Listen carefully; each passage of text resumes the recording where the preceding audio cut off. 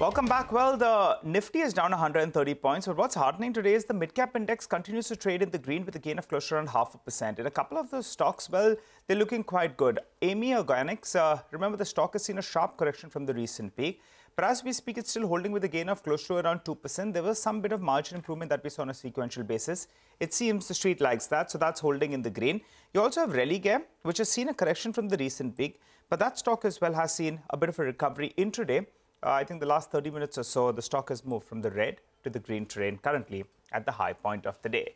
But let's focus on the cement space. Birla Corp, they posted numbers which are a little lower than what the street was working with. Valuation-wise, though, there's a lot of comfort that comes in there. So let's welcome Ms. Aditya Saraogi, the Chief Financial Officer of the company who joins us. Uh, hi, Mr. Saraogi. Thanks so much for joining in.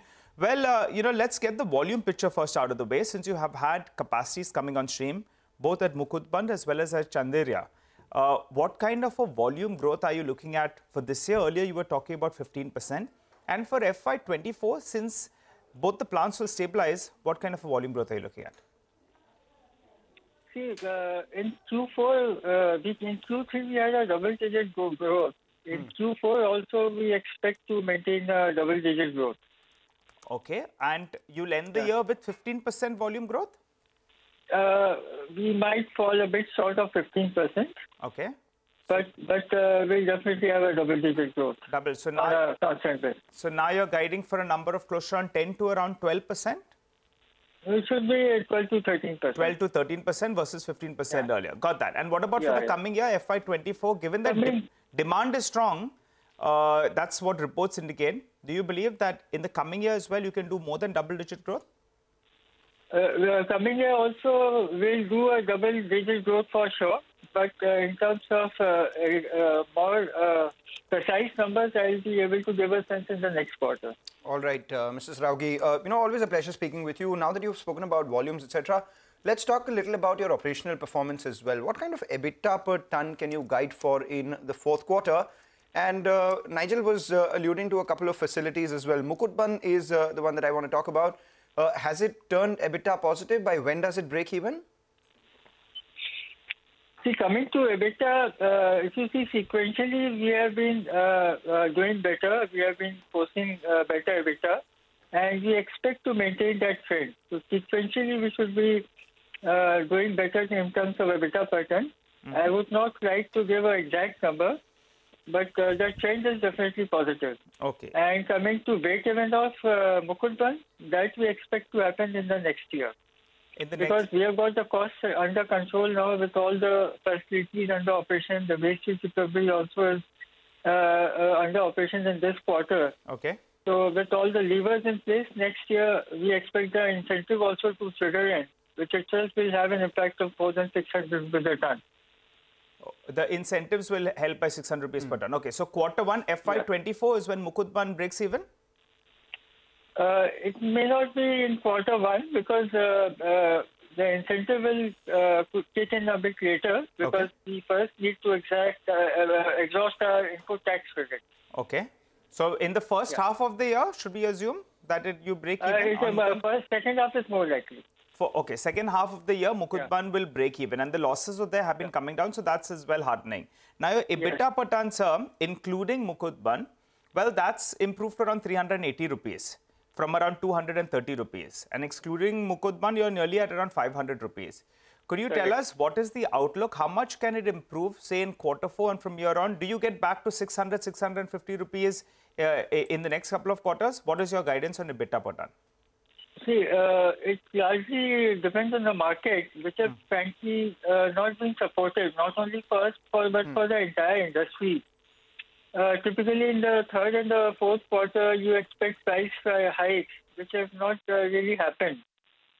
So, if we don't get any price hike, it will be difficult to uh, get to the figure of 600, 650, which was what we were expecting earlier.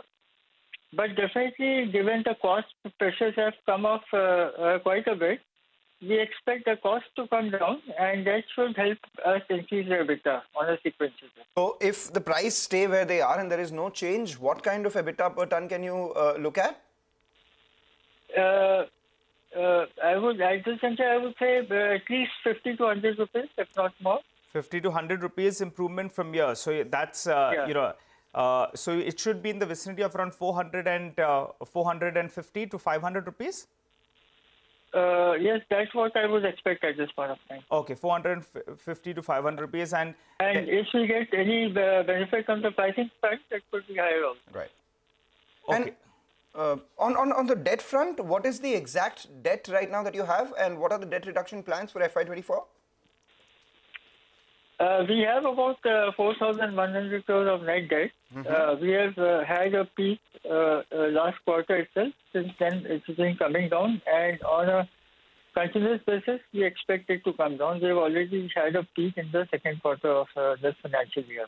By how much? In terms of yeah, go ahead. in terms of uh, debt reduction, uh, what we are doing, we are uh, currently focusing on uh, consolidation of our operations, ramping up our Mukutban plant. Yeah. So once uh, that facility starts generating cash flow, we will use that for repayment of our debt, and this should come down uh, on a gradual basis. So by the end of FY24, debt could come down by 10%. Is that possible from 4,100 crores? I, uh, maybe next quarter I'll be in a better position to. Oh, as of now, you can't commit on that front. Very quickly, Yeah, though, yeah, yeah, yeah. your press release talks a lot about captive coal. You know, you're going to be ramping up your blocks. Uh, could you tell us uh, what is the ideal mix in FY24, say, out of your total coal requirement, how much will come in captively? Uh, between 37 to 40 percent should be coming from uh, uh, not not exactly next year because we are going to start it uh, somewhere in the Q2.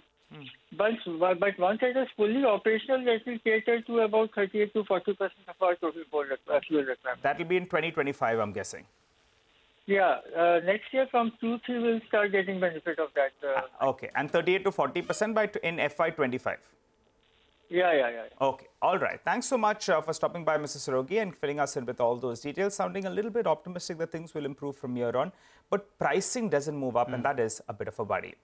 Well, time to slip into a short break. As we do that, here's some exciting news. The most coveted leadership award